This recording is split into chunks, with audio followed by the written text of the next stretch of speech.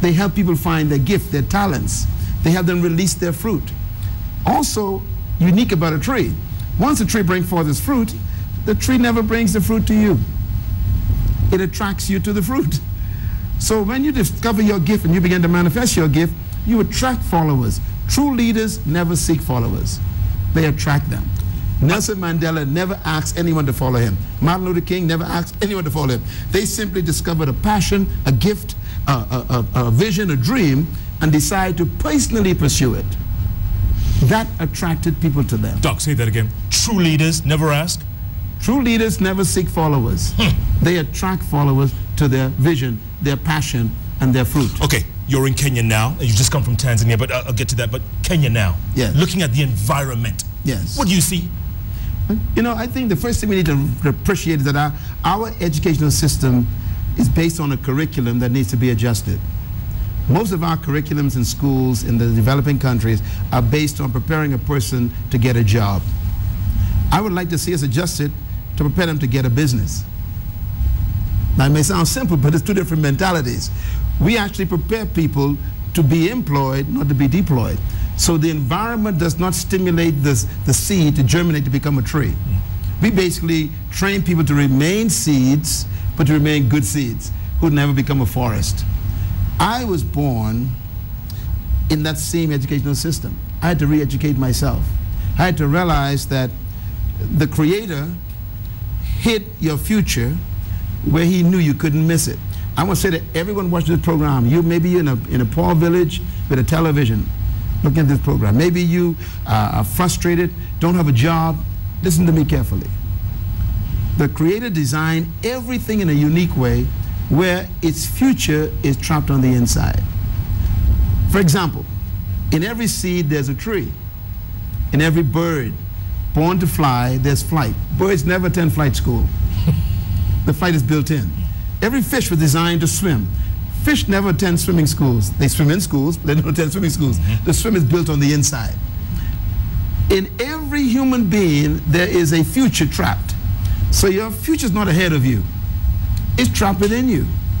We keep looking for our destiny, when in fact our destiny is screaming at us saying, let me out.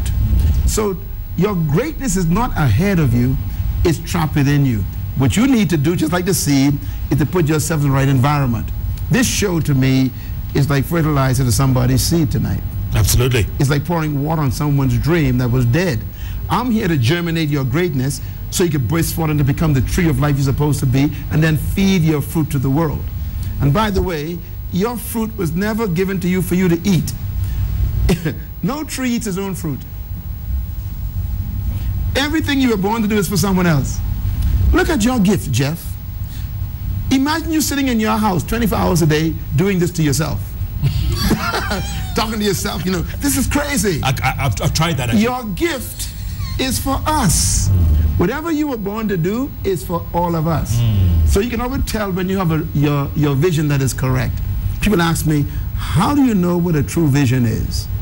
My answer, a true vision never benefits the visionary. It benefits others. Your joy is when other people are positively impacted by what you give them. Yeah. So a tree gives its fruit away because that's the purpose of its existence. What you were born to do is to feed others. Once you feed them, they in turn bring back and give you fertilizer. Mm, that's called prosperity. No job will ever give you prosperity. Only your work will give you prosperity. You don't prosper from your work, from your job. You prosper from your fruit. Most people who become successful had to, had to leave their jobs. Case in point, flight attendant. Okay, so you know, I was a I was a government administrator. Yeah. Making twelve thousand U.S. dollars a year. Now I make that in one one hour. I could have still been there.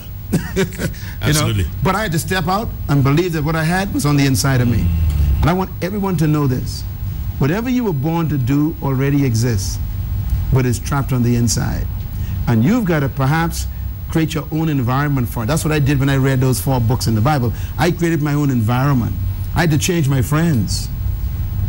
Sometimes the folks who are with you are pollution mm.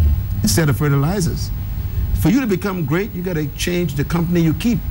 You, if you poor and I'm poor, we're bad friends. Somebody got to have something. Yeah. You know. So you you you always want to be around people who would force you to believe in your dream. They pull on your dream. They encourage you to believe that it's possible. And you want to be around people who stimulate your vision, who stimulate your ideas. If you are the smartest person in the group you are with, it's time to leave the group.